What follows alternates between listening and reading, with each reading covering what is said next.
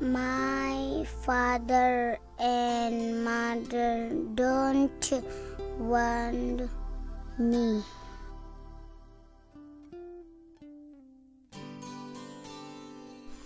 I have nobody to take care of me. I have no mother and father.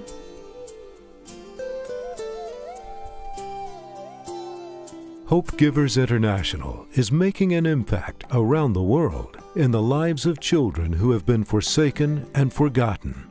Our greatest responsibility is to fulfill the Great Commission of Christ by reaching out with the love of God to save the lives of abandoned children like these who have no hope.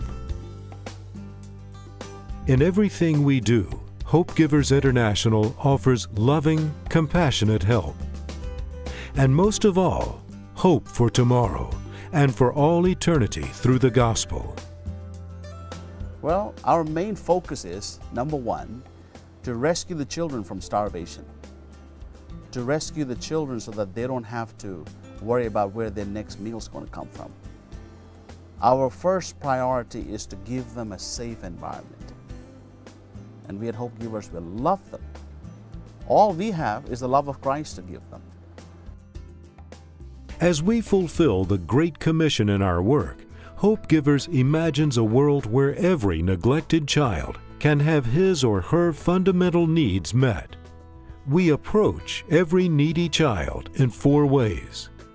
The first approach is emotionally, by providing love and guidance as a family to every lonely child. The next approach is mentally, by offering a basic education and vocational preparation. Then comes the third approach, physically, by providing the basic necessities of food, water, clothing, shelter, and protection.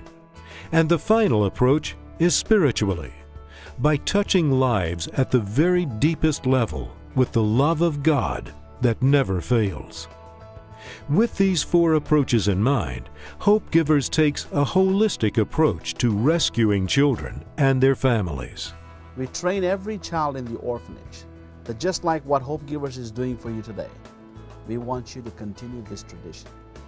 And one day I'll tell you, India will be a country full of hope, glowing for the sake of the gospel, sending the children as leaders into the other countries.